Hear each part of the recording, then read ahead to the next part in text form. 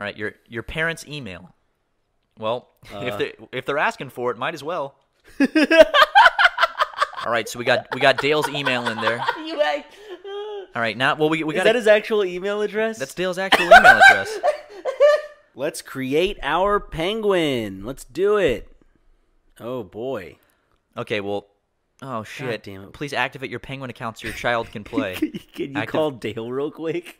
Dad, no, Dad, really, I like I need like if you can just check your email real quick and just confirm the email that just got sent to you. I know it's 3 a.m. I'm sorry. Just please, just on your phone, really fast. Just do it.